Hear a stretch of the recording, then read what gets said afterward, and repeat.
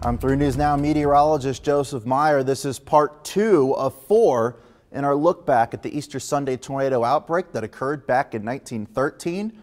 Part one dove into the meteorological aspects of the event. Part two will delve into some of the tornadic details, particularly the tornadoes that occurred in eastern Nebraska that day, not counting the Omaha tornado. That'll be a separate one. This one will include the rest of the tornadoes that impacted a lot more rural communities.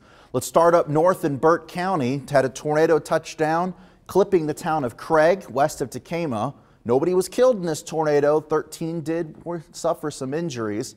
The tornado was around 200 yards wide, clipping the northern and western part of the town, damaging over a dozen homes. A few of them pushed off of their foundation. The main tornado went north of Tekamah and moved into Monona County, Iowa.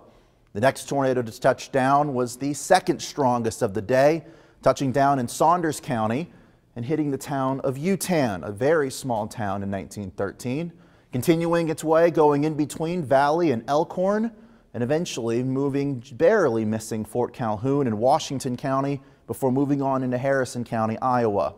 This tornado unfortunately took the lives of 22 people, 19 of them in the city of Yutan.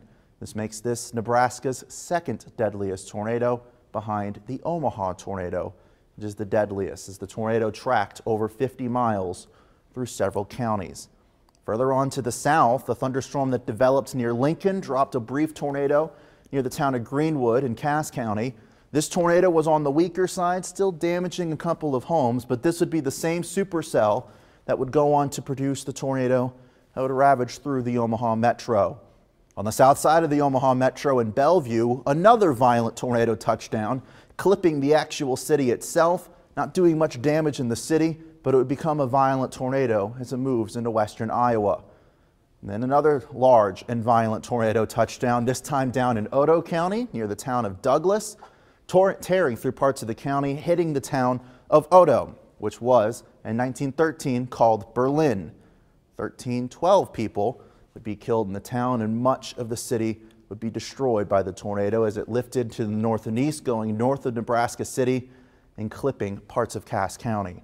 And a final tornado touchdown way down near the Kansas border in Pawnee County. This was a weaker tornado, narrowly missing Pawnee City, damaging a school and four homes. Might have been a little bit of a longer trek, maybe starting south of Beatrice and going, heading up in the direction of Auburn. The data a little sparse on that. For more details on these tornadoes in eastern Nebraska with photographs and a lot more details, scroll down below in this blog post to see those. If you want to check out the other four parts, links to those are also in the blog post down below.